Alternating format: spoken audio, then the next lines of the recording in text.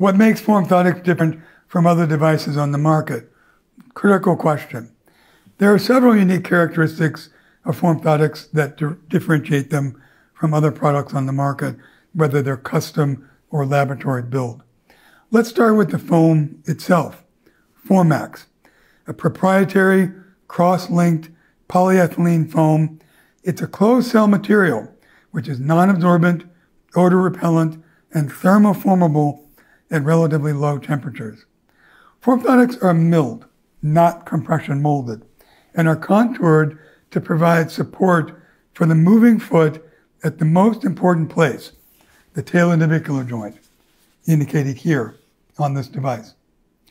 Once fitted, they may be reheated when necessary, and critically, may be modified through the careful addition of many forms of modification in order to realize specific clinical objectives.